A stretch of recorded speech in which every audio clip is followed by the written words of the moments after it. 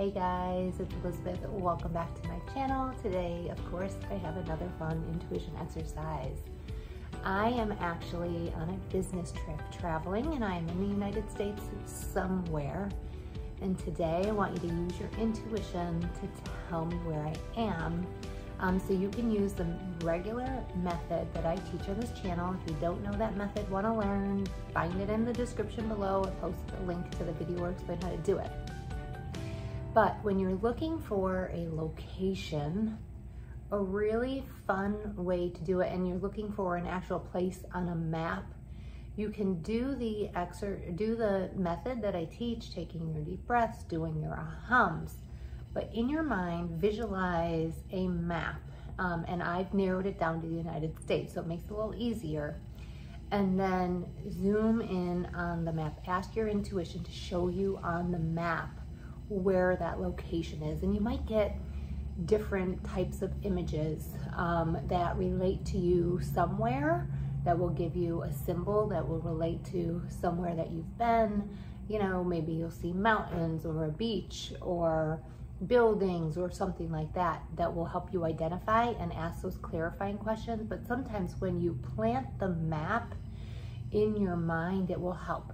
Um, if you blank on that, so you put the map in your imagination, ask your intuition to show you, and that doesn't work for you, um, start over, start the process over, and let your intuition lead you. You might need to ask clarifying questions, right? Because you're getting symbols.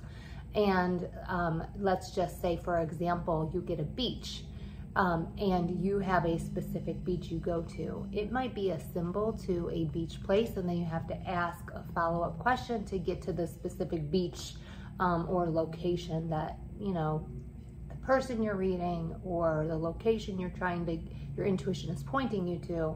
Um, so don't get stuck where you stop at your first um, answer from your intuition.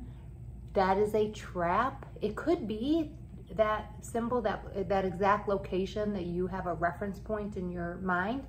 But many times when I've done that and looked for locations, I need to ask a couple follow-up questions. So I hope that makes sense to you. Um, and now I want you to do the exercise. So pause the video, ask your intuition to show you anything at all that's important about the place that I am located, and then unpause and come back and I'll give you the reveal. All right, I am in Minneapolis, Minnesota um, for a work trip with a bunch of coworkers that I've worked with for quite some time. Um, and, and, I would love to hear how you did, how that method worked, if you tried the MAP method. Uh, yeah, I hope you guys are doing well. Give this video a thumbs up if you enjoyed it. And of course, subscribe to my YouTube channel if you want to be notified when I post new videos. Catch you then.